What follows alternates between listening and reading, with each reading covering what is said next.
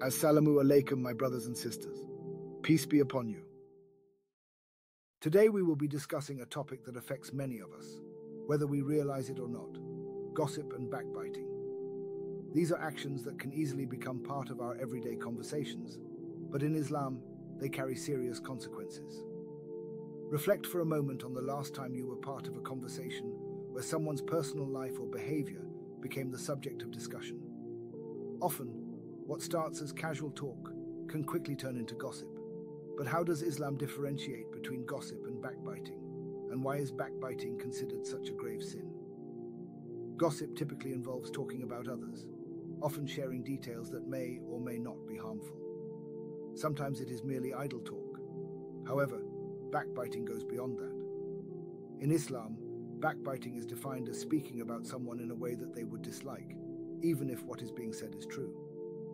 Prophet Muhammad, peace be upon him, clearly stated, Backbiting is to mention your brother in a way he dislikes. This makes it clear that even true statements can be harmful if spoken behind someone's back. The Quran draws attention to the severity of backbiting in Surah Al Hujurat, where it is compared to eating the flesh of one's dead brother. This metaphor highlights how serious and detestable backbiting is in the eyes of Allah. Imagine if we understood how repulsive this act truly is, we would surely refrain from it. In today's world, gossiping has become normalized. It is often encouraged in media and entertainment, making it seem harmless. However, we must remember that these casual conversations can deeply affect the person being discussed. According to Islamic teachings, the harm caused by backbiting does not end with the person being talked about. It also affects the one engaging in it, because in the hereafter, we risk losing our good deeds to the person we wronged through backbiting. So, what can we do to avoid falling into this trap?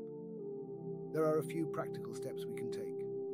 Firstly, we should follow the advice of the Prophet, peace be upon him, who said, Whoever believes in Allah and the last day should speak good or remain silent.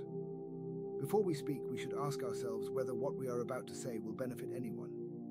If not, it is better to remain silent. Secondly, if we find ourselves in a situation where gossip or backbiting begins, we can gently change the subject. Redirecting the conversation can prevent us from falling into sinful talk, and it can save others as well. Lastly, we are encouraged to defend the honor of others. The Prophet, peace be upon him, said that whoever defends their brother or sister in their absence will be protected by Allah from the fire. This hadith serves as a reminder that standing up for someone when they are not present is a noble act, and it brings great reward. In conclusion, it is important to recognize that gossip and backbiting are harmful. They have real consequences, both in this life and in the hereafter. However, if we have engaged in these actions, we should not lose hope. Allah is most forgiving. We must seek forgiveness and strive to do better moving forward.